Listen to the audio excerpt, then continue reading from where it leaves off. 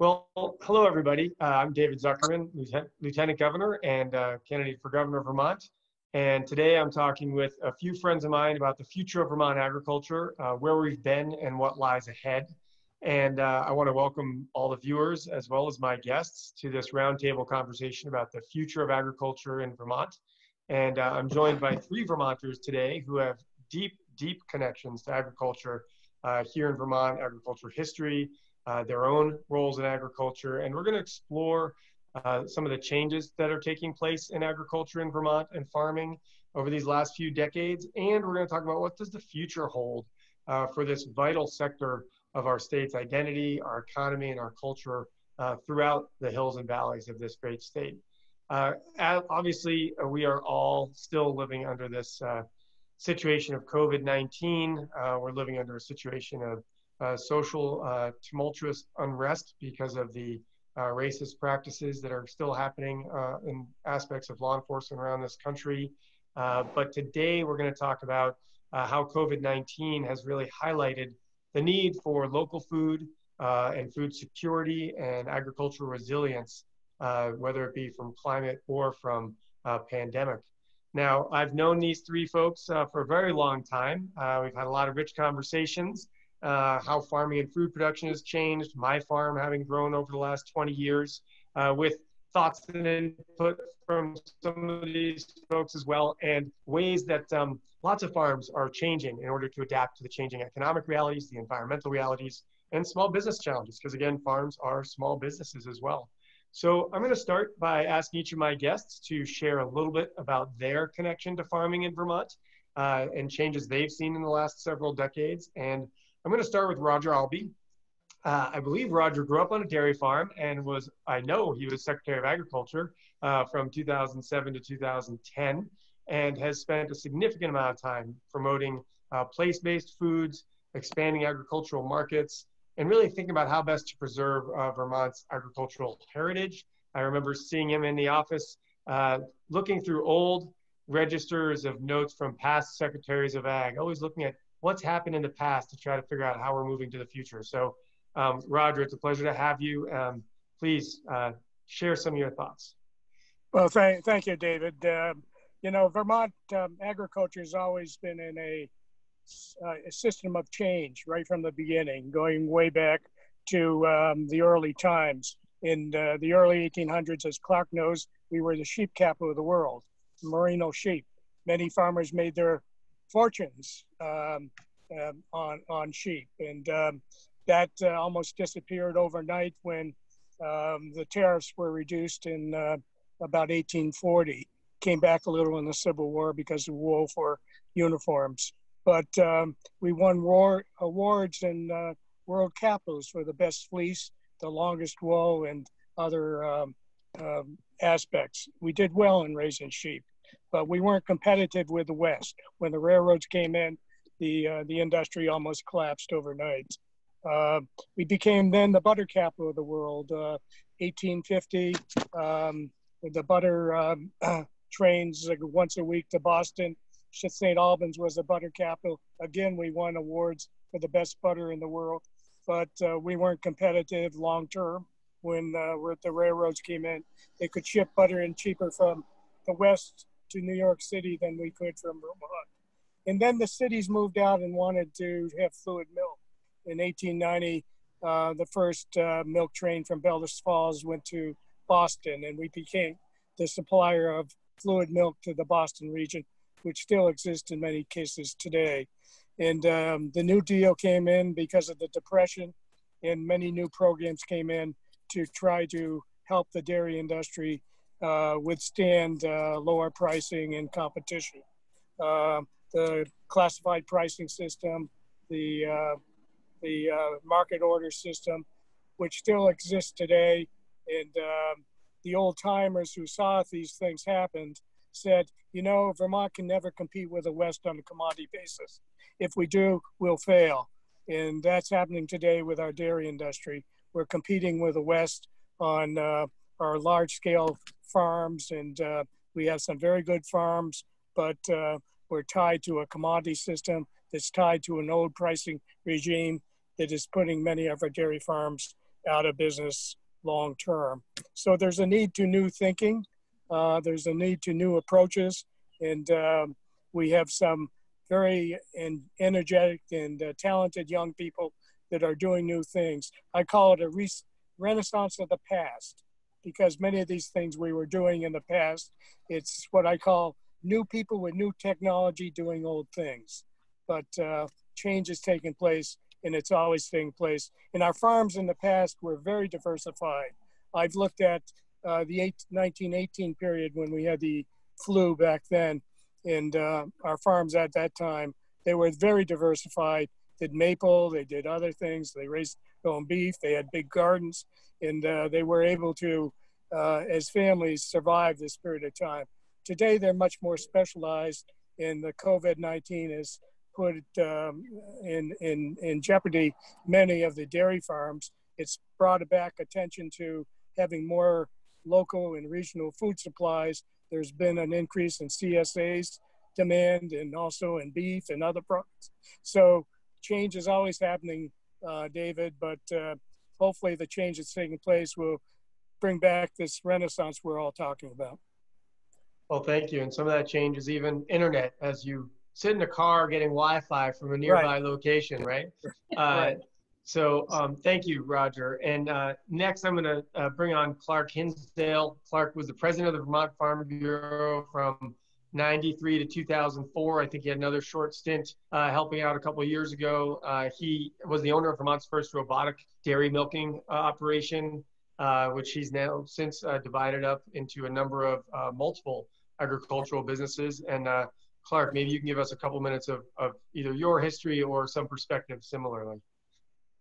Well, thank you. I, I um, went from uh, B as in berry farming to D as in dairy farming. And when I did so uh, 25 years ago, nobody in Vermont could hear the B because I'd say, I own the Charlotte Berry Farm, and they'd say, How many cows do you milk? uh, that, that's always uh, stood out in my mind is how much we used to equate the word farm and dairy farm. They were the same thing. Somebody said you were a farmer, they meant you were a dairy farmer. Of course, that was a time and when we were the least diversified agricultural state in the nation, uh, where no other state depended on one commodity for not only a bigger part of their agriculture, but a bigger part of their gross state product. Uh, milk is a bigger part of our gross state product than any agricultural commodity in any state in, in this nation. So moving from specialization back to more diversification is a relatively challenging thing. Um, with co-ops to market your milk, uh, we've had several generations of market orientation bred right out of the farm population. Um, and a lot of times young people with college marketing backgrounds uh, can come into a situation and use their skills uh, to, to market things where dairy farmers are used to not having to market anything. So we'll get talking later about um, some of the exciting opportunities personally I've had to work with young farmers uh, who are doing many different things. Um, so I've been for 30 years of my life conserving land and helping young farmers get on land. And when I got out of dairy farming and we had our auction, and uh, Nordic Farm was a dairy farm no more, um, a lot of my time has been spent uh, conserving and getting young farmers onto the land, and uh, none of them are dairy farmers. So I'll just conclude by saying riding the school bus in Charlotte growing up, there were 40 dairy farms, and now we're down to one. One dairy farm. Wow. And I think that's uh, so a statistic that unfortunately can be stated in far too many towns, uh, whether it's 40 to 1 or 50 to 5 or something to that effect. Um, thank you, Clark. And our, our third and final guest uh, as we get into this conversation is Orly Munzing. Uh, Orly is the founder, founder of Strolling of the Heifers, which uh, started as a Brattleboro parade uh, and has since guided the organization to be a huge um, celebration, not only of Vermont's cows and dairy farms, but into a year-round effort uh, supporting Vermont agriculture in all its diversity. And uh, Orly, uh, welcome, and please share some of your thoughts on what you've experienced doing that for many, many years. My background is a little lighter than Rogers and Clark. Um, I think I was um, a farmer living in Vermont in my previous life. Um, but I've always uh, been drawn to Vermont. I used to visit Vermont a great deal. I worked internationally. I worked uh, in Boston in my younger years, but something always pulled me back to Vermont. And I decided to move here. And the reason I moved here was because of the farms that created the fabric, that created the anchor for our communities. We're a very different place than any other place, and it's because of all the farms that we have that provide us that culture. Uh, old fashioned, really good, uh, sustainable way of living on the whole. So about 20, 21 years ago, uh, I was talking to my neighbor, Dwight Miller, who owns an orchard in uh, Dummerston, Vermont, and we were walking through the orchard. And uh, you know i'm always like oh my god look look at the beautiful view. You work so hard and so forth. And he goes orly in his wonderful native twain he says you like what you see? Oh yes thank you so much. He said then you have to get to work and start telling your friends that they need to support farmers because if you don't you see this this is not going to be here and that really resonated with me. And he knew that I had a background in creating um, uh, conferences for teachers and so forth. So I went home and thought about it. I read a lot about agriculture. There's a lot written about agriculture and so forth, but I don't think people were paying that much attention to it. So a light bulb moment came and um, I thought of this strolling of the heifers. I visited Pamplona, Spain when I was uh, working internationally. And I decided, hey, this is a wonderful way of celebrating dairy farming and farmers in Vermont, capture people's imagination. And then when, whatever we do, we bring home the importance of supporting farmers. And so we had our first um, Strolling of the Heifer Parade in 2002. The word locavore wasn't even around. That wasn't even uh, created till 2005. Um, it was a huge success. You know, Diane Sawyer, Katie Couric, other shows we were, we were invited. I remember taking Helen Robb and Charlie Robb with me. It was, it was quite the um, exciting piece. And it has been very, very successful. And we have consistently listened to the public, consistently listened to the farmers, and from those heifers marching in line, and we had no problem getting heifers um, the first five years, and I'll, I'll, talk about that more. And they were all from Windham County, and we had about 155 heifers at that time. More on that later. But um, the program has grown, and um, you know now we have all kinds of different programs that are sustainable and help with um, economic development for farmers and for our communities.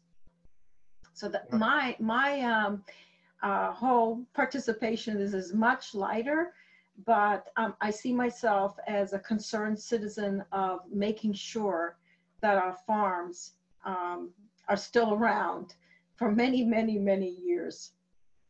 Wow. Well, thank you, Orly. And, um, you know, we've we've talked a bit about now about the past, uh, and some of this information was was put out there by uh, each of our guests. Uh, we know uh, we went from sheep farming to dairy farming. Uh, as Clark mentioned, uh, we are the most, we still are the most single commodity de dependent state. At one time, it was about 85% of agricultural output in Vermont was dairy. Now it's between 70 and 75%, but no other state is above 50% with any one commodity so we are still highly uh, focused uh, when you look at our economy, even with all the diversified farms. Um, so I'm curious, uh, dairy farming still being such an important piece of Vermont's economy, uh, what are, let's talk about some of the challenges facing the dairy farms and the dairy industry here in Vermont. And do you know any practices or solutions that are being tried that are maybe moving to a stronger resilience from the commodity market uh, throughout uh, dairy industry? Any one of you, if you want to chime in a little bit. Well, certainly uh, in in the Charlotte area, uh, we've seen the uh, attitude expressed by Orly Munzing, the attitude of uh, shopping local, embracing uh, the farming community, happen to a significant degree, um, and uh, we have a half a dozen farmers or so that raise beef. And in this COVID 19 era, when many of the big packing houses have been shut down, um, the, the, the local beef farmers here in our area uh, can't keep can't keep meat in inventory. Uh, and um, I went to a small farm stand a few weeks ago you know, where only two people could social distance inside, but yet there was five people at six foot intervals waiting for their turn to get into this little stand on a dirt road and they clean cleaned the place right out. And so one of the bright spots and david you mentioned this one of the bright spots is if people first blacken the shadow of the door to a farm stand they've never been to before, or call on a, a front porch forum ad for somebody that's selling beef by the side.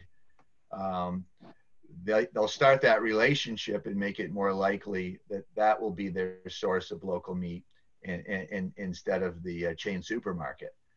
Um, so we're definitely seeing that and as a state that sh- that ships in what do we ship in david 80% or more of our food mm.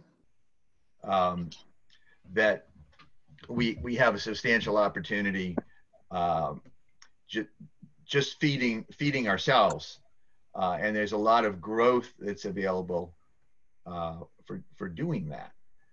Um, another thing being here on zoom that i want to mention is i have worked with uh, some young farmers where one member of the couple had a financial management job or some kind of job that they could do from home on their computer and be spend half their time helping their spouse who was full time uh, with their with with their farming operation uh, and I think that's a huge opportunity because we've always had farm families where there was some off the farm work too. Uh, I even have heard of a dare, uh, of a vegetable farmer that moonlights as lieutenant governor. Um, you know, so uh, and the legislature used to get out in time for maple sugaring, and uh, we uh, might be better off if they still did. Um, but it was when there was dozens and dozens of farmers in the legislature. Boy, when the sap started to run, you better start wrapping her up. So I think that there's a lot of opportunity going back to, as Roger said, uh, the, the diversity that we had uh, uh, hundred years ago, um, and that we need to look more at our neighbors as customers than the truck that comes uh, down the road you know we've we've known for a long time what the what the problem has been with the commodity dairy side. Uh, we've studied it backwards, forwards, sideways, upside down, and we know that the pricing system doesn't work to the advantage of our dairy farms in Vermont. It hasn't for many years, Clark, many many years, and as a result, a lot of dairy farms have diversified. Uh, you know, some of them went into uh, doing cheeses, specialty cheeses um, and other things like that uh, because of that. Um, and, and that trend continues and will continue, I suspect. But, um, and we still have many good dairy farms left, but I think the diversity and the, the diversification in young farmers is a trend that uh, will continue and has to continue. And, and do you think in that vein, oh, go ahead, Orly. No, go ahead. I was going to say in that vein, um, are consumers looking for something more than a commodity? You know, are they looking for either value added or animal husbandry or worker conditions uh, or climate issues and cover crops and water quality? Do, do we think consumers care enough to make those aspects of farming uh, an economic value uh, for, for farmers? I'd say probably. I'm not going to say absolutely. Uh, and, and, one of the initiatives, and I think you were involved in this, David, and uh, and and and Mr. Secretary, of course, is the whole push to get local foods in restaurants, uh, and the whole fact that the menus in these restaurants, the websites in these restaurants, uh, celebrate and talk about the various local farms that they that they source their their food from. Now, right now, of course, that is slammed as hard as anything could possibly be slammed. And it is the small businesses that are family run that buy local and, and much less, not, not nothing, but much less the large national chain supermarkets who have to run all the purchasing through through a regional warehouse. Um, and so um, I, I think that that group of people is very important to us as farmers and cross our fingers that the majority of these small restaurants can make it back because they're much better at reaching out to local farmers uh, than the national chains.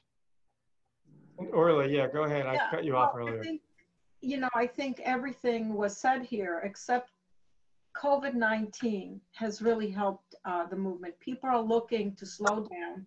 They're really thinking of where their food came from.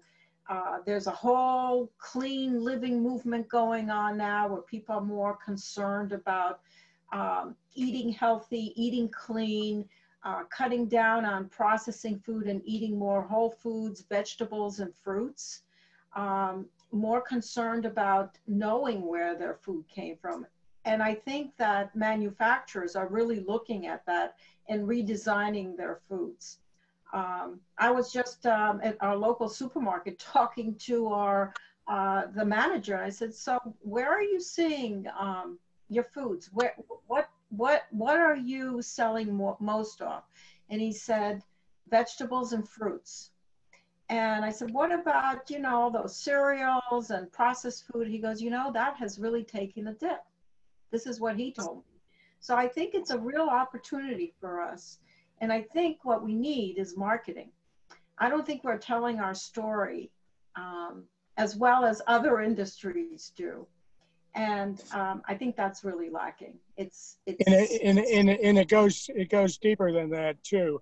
I had the opportunity to run a hospital healthcare facility for four years after I left Montpelier.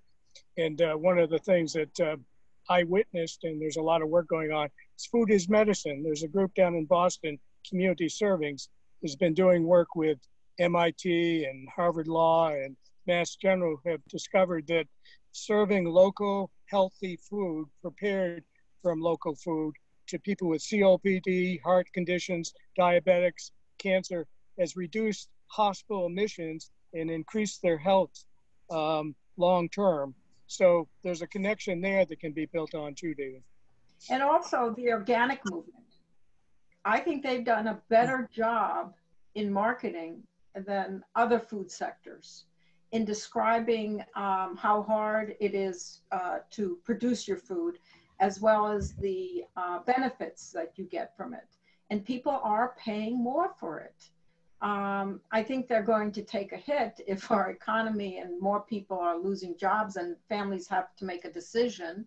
Um, however, um, you know, we need to look at that as a whole, especially for the state of Vermont that has such a cachet in the name Vermont. Um, we need to actually um, introduce and attract more food producers to come here and uh, produce their food here because of the wonderful soil we have, the wonderful farmers we have, and um, the name. Yeah, I mean, I'm I'm still hearing for some of our farmers, whether it's folks that want to start dairies, because there's actually still young people that want to get into dairy, as well as other small farms, diversified farms, or meat farms with a little more land, that we're still facing a couple different issues around money. One is land in Vermont is not inexpensive. We are in the Boston, New York second home uh, country respite, you know, market. We're seeing that really strong right now with COVID-19. There's been a, a big uptick in uh, out of state looking at purchasing.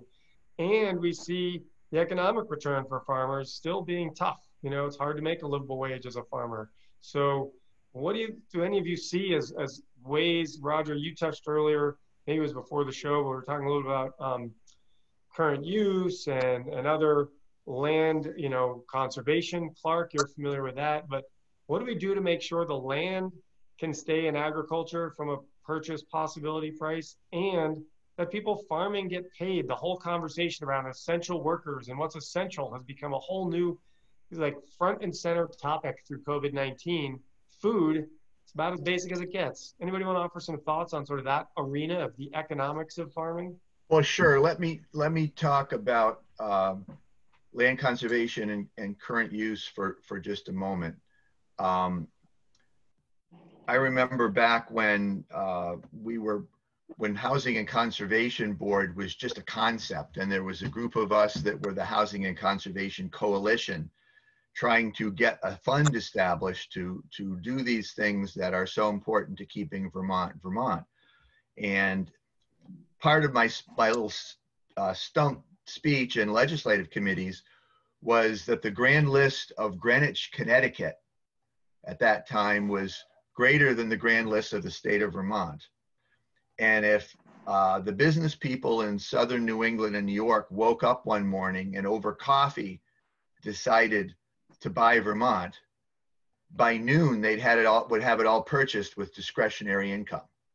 So understanding how small and how vulnerable and how the 10 million acres in Vermont that's privately the portion that's privately owned could all become playground and second homes for wealthy people and our local culture could could could um, just disappear um, the conservation movement has now been around for long enough so i have observed and participated in second and third generation sales the land that was preserved the person it was preserved for uh, retired, you know, got old, um, moved away, and uh, the land is being bought by uh, uh, other farmers. There's a piece of land that that I had that was used as part of the dairy farm. Uh, then a guy bought it to buy to grow hops. Neighbors didn't like that, so he bought land in Starksboro and grew hops. But he tile drained the land, and then he sold it to a guy who is uh, growing hemp. Um, and the guy that's growing the hemp, you know, out bought bought his plants from others the first year. This year he put up his own greenhouse to start his own plants.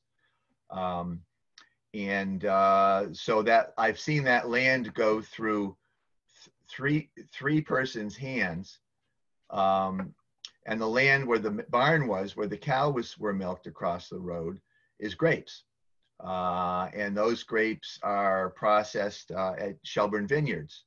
Uh, so Shelburne Vineyards, by creating that processing facility, has created a market for not only their grapes, but other grapes. And and, and so those those are all uh, very interesting things. I want to mention gardens for a minute. Gardens. World War II, we had victory gardens, and it was a patriotic. World thing. War One. World War World War One too, Clark. Okay, okay. You're a little older than me, Roger, so I'll I'll, I'll take your word for it. Uh, and and uh, the garden centers, you know, it's hard to buy a plant or a seed in Vermont right now because everybody's staying at home. It's the time to have a garden. Um, I remember being asked when I was doing the Charlotte Berry Farm for recommendations on varieties of berries, and then they'd say, "Oh, you, you but you probably don't want me planting berries." I said, "Yes, I do. The more people farm, the more people have gardens, the more people understand how hard it is to do that, how much better the fresh food is. And so this whole gardening renaissance that we're seeing is a real opportunity. Um, some of those people will go back to work and maybe not garden next year, but they're not going to forget how good that fresh produce tastes. And they're going to go buy it from Burlington Farmers Market or um, local stores like the Shelburne Supermarket, who are excellent at buying and stocking uh, local foods. They're known for it. So, So this is an opportunity we can build on the fact that a lot of people are going to get their hands in the dirt, and a lot of people um, are are going to want to keep that theme, uh, localness, as part of their family culture, coming out of this time. well, and And maybe that means economic remuneration for those farmers, because that's still one of the big issues. Uh, sorry, Roger, go ahead. Well, you, you, you know, you asked what, what might be done in the future too. We, you know, we have a lot of programs in Vermont that have been put in over a long period of time that Clark has mentioned and, and others as well. Um, you know, last year, um, we put a group of 22 diverse people together to look at dairy and water quality, and they came out with a report in March 19th, actually, um, of eight recommendations. And one of them, which I think is, is key to the future as well as the others, was looking at places like Maryland after the tobacco um, industry was, uh, you know, put to sleep, so to speak, uh, for good reasons. They created a, you know, independent uh, Southern Maryland, Maryland Development Corporation that uh, worked to provide grants and uh, and loans and other things for transition.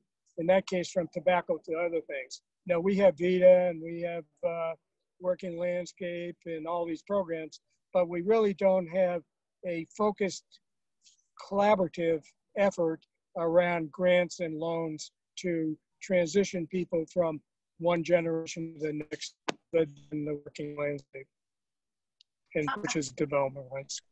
I, I would like to add to Clark and Rogers, and that is only 15% of the approximately 7,000 farmers right now in Vermont are 35 or younger.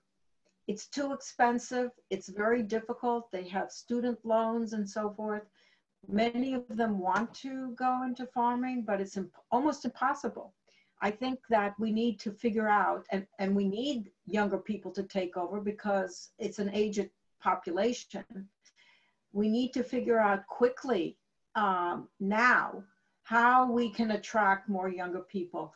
I know I get phone calls from people from out of state, young people who are interested in farming in Vermont. Um, and it's almost impossible. So it's something that we need to immediately solve. Well, Well, Vermont and- Land Trust did uh, invest in staffing a position.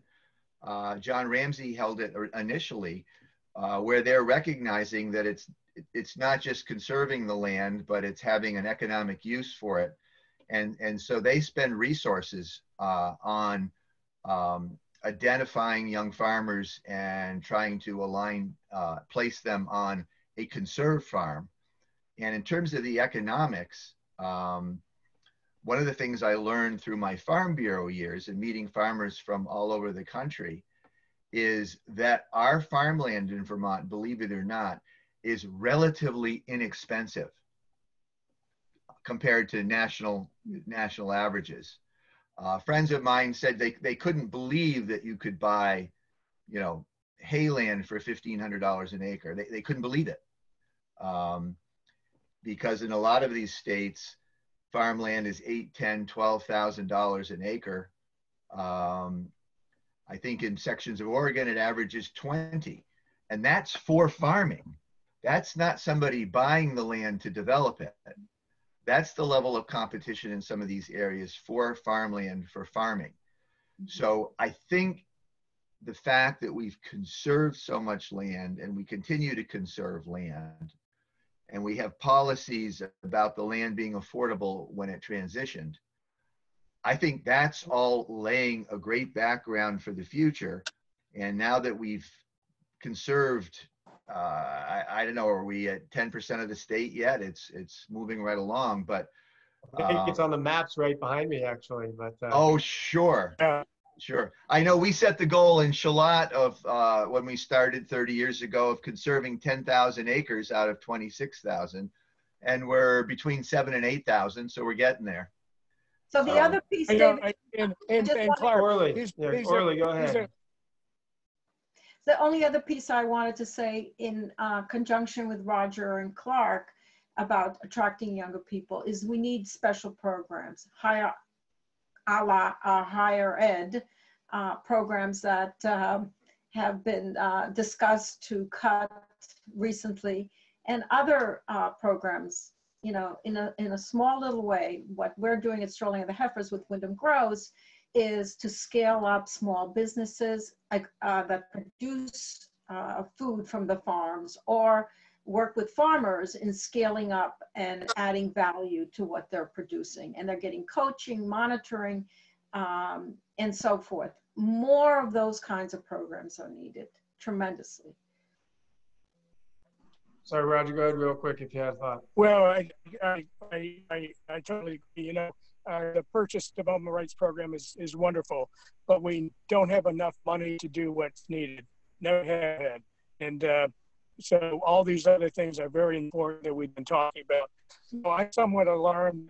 TC was suggested to be closed or moved to Williston. I hope we need those kind of programs in the future that can bring young people the education, the hands-on experience that they need to uh, to help them advance in their careers. So uh, I want to have a few minutes for our last question that, that we had prepared, although that one was sent in that I want to bring up from Facebook Live as well that asked, uh, are large poultry and dairy farms driving smaller ones out of business? And that's a very contentious question. But similarly along that line, are there um, opportunities for smaller farms in the local food movement? What ideas do you have for guiding Vermont towards this more diversified, sustainable agricultural economy and uh, and and so forth. How does that you know those two things tie together? Maybe a little bit. Is is there is there a division in agriculture? Does there need to be a division in agriculture, or can we all survive with different scales and models? Uh, I'd, I'd like to take a shot at that. Um, as dairy is tightened, the competition for rented land is increased. Uh, you know, we're seeing rented land bring 80, 100, 125 dollars an acre. Uh, down Rogers Way, I, I, I knew of some land that went for as much as $500 an acre along the uh, Connecticut River. Some of that uh, of that um, Badly beautiful- soil. beautiful soil. But what the what farm appraisers have found is that a hundred acre field appraises for more than an acre, more per acre than a 10 acre field. And that the large dairy farmers, you know, want fields that that they can turn the largest of large equipment around in. They don't want a five acre here and a seven acre there and a 10 acre there. And so as a result, as I've sold some of the conserved land that I used to farm, um, we we've had some small greenhouse vegetable operations that have bought small plots of conserved land that the bigger dairy farmers wouldn't even want to look at. Um, and a lot of times in our in our soil structure in Vermont here in the valley, you'll get small narrow valleys uh, where there'll be small fields of beautiful Winooski or fine sandy loam in small pockets of a few acres here and there. Um, and, and those are ready, willing, and able for people who are doing intensive farming on high quality soils on pieces of land that the big farmers have just let grow up to brush. Earlier, The other thing is the manure, which we have too much of right now, and we, it's ending up in our, in our waters. Um, but I'm seeing more and more partnerships between large dairy farms who have more manure than they can get rid of. And they're looking at people who are growing, for example, grain for the malt house, who do not have livestock, and therefore, without a source of manure, they're depleting uh, their their soil. Um, final point I'd like to make in terms of the viability of some of these ideas. Uh, in, in the 1970s, when I graduated from high school, the maple syrup business in Vermont was almost dead. We had gone from making a million gallons of syrup to 200,000 gallons of syrup a year in the 70s. And I, I know we've grown at least tenfold. I have friends that maple sugaring is their full time what they do.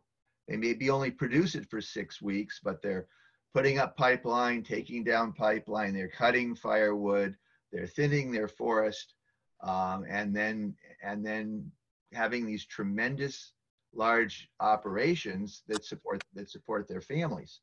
Um, so when I look at the maple industry, I, I realize that there are other opportunities um, that could be Yeah. as big as 10x or more, because we've seen it just in my lifetime uh, with with maple sugaring. I don't know, Roger. What do you Roger, think? Orly? Well, I, I, I, totally agree. It doesn't need to be a division in, in agriculture in Vermont. They're all dependent on so many things together, whether it's the supply dealer or the equipment dealer or uh, what Clark just said about manure. Um, they're they're all together in, in, in trying to make Vermont better. And uh, and uh, small or large, I, I tell people when they say, well, you have a lot of large farms. I said, we don't have large farms in Vermont. If you want to see large farms, go out in Midwest or out west.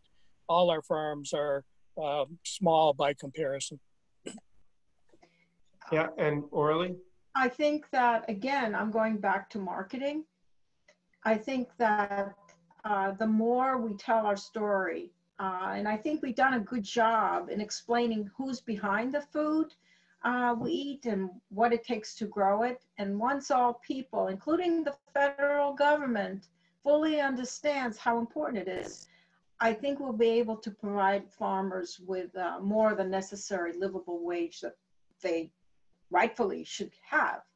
Um, I think it's going to take the federal government to provide some special programs for that, as they do in Canada, as they do in Europe, as they do all over the world. We're the richest country in the world. Food is our medicine. And the federal government needs to begin to understand that. David, lot just one quick, just one quick thing. In early 2000, you probably remember this. National Geographic said that Vermont was a number five place in the world to visit, um, and um, and and and all those things. And it was because we had a working landscape, we had quaint villages, and we had a plan for the future. And I said I like the first two. I'm not sure where the plan for the future is. Well, I'm working on that, just to say, you know, but, but, uh, no, I, I think a lot of this has been a great conversation and, you know, there's often a division amongst sometimes non-farmers about what the right future for farming is in Vermont. And, you know, there is appropriate concern about our waterways, about labor conditions on some farms, sometimes even animal husbandry, although I think there's a lot for people to learn about that too. Uh, and oftentimes it does come down to finances. And we have had a societal push. Uh, Roger, you know the history better than anybody, but since the 40s of a cheap food movement in order to uh, keep people fed, which is, of course, a, a, very appropriate goal in governments. But it also has meant that uh, the externalities have not really been incorporated into the cost of that food. Uh, and I think in Vermont, we're seeing more of that conversation than in a lot of other places. And, and maybe under Orly's thoughts there in terms of federal involvement or state involvement, whether we can add um, supports to bring in the externalities, but also pay farmers well enough that they don't have to push their fields to the very edge of the rivers, to not have to push their animals to the edge of their production capacity, to you know do some of these things that frankly have been driven by the economics of the cheap food movement. Uh, but as we wrap up, um, I'm curious about you know each one of you just for a minute share the most important thing you think Vermont should be doing to grow our agricultural sector? Orly, let's start with you. Marketing and attracting young people. Wow, that was quick. You had a whole minute. You got anything else you want to throw in there? if not, you we'll come back one last second. Clark, how about you? Uh, educating and attracting uh, young farmers and continuing we, we have to continue the conservation programs and current use um, because that gives farmers in Vermont a competitive edge because our land values, our land prices, and our land taxes uh, are, are the lowest in New England. And uh, the only place I can think of where the prices are lower is uh, parts of the Adirondack Park. Um, but even over there, their taxes are substantially higher than ours. We have to let people know that this is a good economic environment in which to farm. And if we ever mess that up, um, it- it'll be bad. But that's another story, Orly that, that we aren't telling is that uh, we have some of the lowest property taxes on farmers uh, in the country. Then the Hey, only, Roger, the one, one, one piece that I left out is so important for our higher eds to keep agricultural programs. Um, agriculture is, is a much more sophisticated, uh, business than it used to be. Um, and cutting those programs, uh, from our higher ed is a disaster. yeah, and Roger? I, I would agree. I, I, I would agree. Educating, attracting, um, and, uh, and helping to finance young farmers, uh, going forward. All farmers, they don't have to be young, they can be old too. Well, Clark, we were talking before the show about uh, how Adam can't be called a young farmer anymore. And one point you helped me get on the Young Farmers and Ranchers Committee of the American Farm Bureau Federation, but I don't qualify anymore either. Uh, definitely not under 35. Um, Well, you're, you're not old enough to run for president, I'll say that. I'm older than 35. You know what I mean? well, I'm not running for president, so that's good.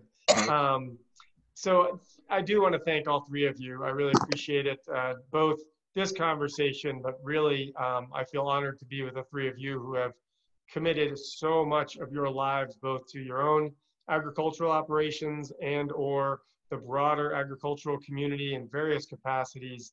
Um, it's it's uh, really an honor to be sitting in this uh, room with you having this conversation um, because I really do uh, cherish the knowledge and experience that you have and that you've brought for Vermont and that you continue to give to Vermont. And um, so thank you. And I hope others who watch this uh, think about these three folks and, and some other real pioneers and leaders in our state. Um, we're actually going to continue our conversation about agriculture next Wednesday on June 10th at noon. I'm going to be joined by three farmers, uh, some of them in that young farmer category, sharing why they became farmers, uh, how they're making farming work, uh, both physically, mentally, and financially, uh, and what opportunities they see for the future of farming in Vermont. So if you have thoughts uh, or ideas that have stemmed from this conversation, or you have other thoughts and ideas about future of agriculture in Vermont, the vision, the planning, as Roger talked about, uh, please do send them to me at info at zuckerman4vt.com. That's info at zuckerman4vt.com. And uh, thank you everyone who uh, who's tuned in to this conversation on Facebook Live. And I hope you'll join me next week as we dive deeper into the ways that we can support our rural economy and agricultural heritage. So And thank thank you you. again, Thanks. Clark, Roger, you. Orly. Thanks. Thank you very much. Thank you for Thank all you. you do, David. You bet.